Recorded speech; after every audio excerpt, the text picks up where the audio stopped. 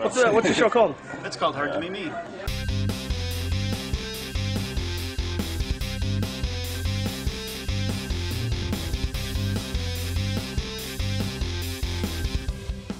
I want each of you to put together a weekly vlog.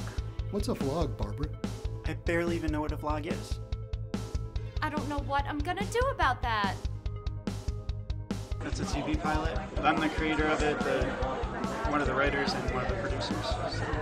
What kind of show is it? It's a dramedy, so that's sort of if you were to take um, Gilmore Girls and Scrubs and smash it together and put it on a college campus, that's kind of what what we're doing. Also, kind of a throwback to some of the '80s family sitcoms, Like what? like, Family Ties. like Family Ties or Growing Pains or Cosby or something like that. Yeah, yeah. So, Yeah.